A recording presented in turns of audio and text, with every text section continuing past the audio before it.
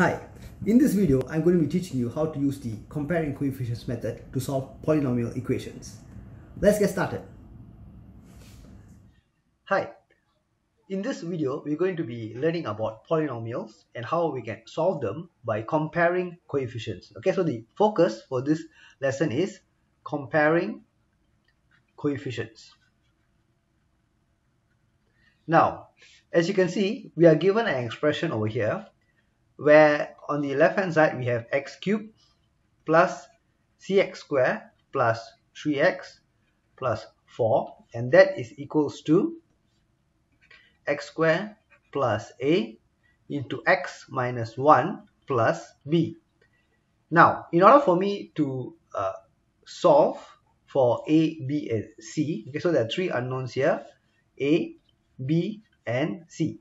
So in order for me to solve for these three unknowns, what I need to do is to compare coefficients on both the sides of the equation.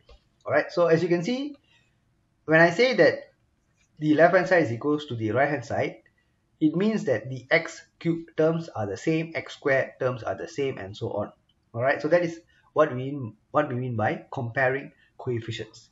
So what I need to do first is to expand the right hand side terms so that I get the uh, get all the terms for the various powers of x.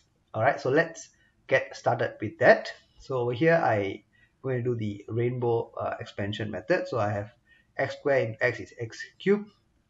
Okay, x squared into minus 1 is uh, negative.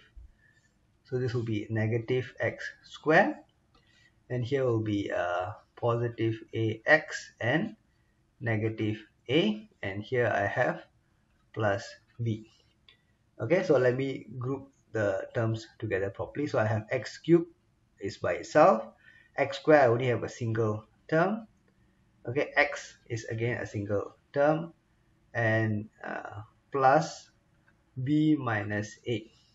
Alright so these are the terms. So for x cubed okay the coefficient here is 1 for x squared the coefficient here is negative 1 for x the coefficient here is a and the constant here is b minus a. Okay on the left hand side what do I have? I have x cubed plus cx squared plus 3x plus 4 now when I compare coefficients now I can see that for example x cubed the coefficient here is 1 over on the left hand side there is also a 1 here. Correct? Only thing we don't write the 1 but there is actually a 1 so as you can see both the coefficients are the same. Now for the x square what do you see? The coefficient of x square on the left hand side is c on the right hand side is minus 1 so therefore c is equals to minus 1 okay so that is the first unknown we have solved. For the coefficient of x you have plus 3 and plus a. So a is equals to 3 okay and finally for the constant you have b minus a and here the constant is 4 so b minus a is equals to 4 so b is equals to 4 plus a which is equals to 4 plus 3 okay and that implies that b is equals to 7 okay so we have solved for all three unknown variables a b and c by using the method known as comparing coefficients. Okay so i hope that this video has given you a good idea how to use this technique to solve polynomial equations with unknown uh, coefficients. All right thank you for watching. I'll see you in my next video. Thank you. Bye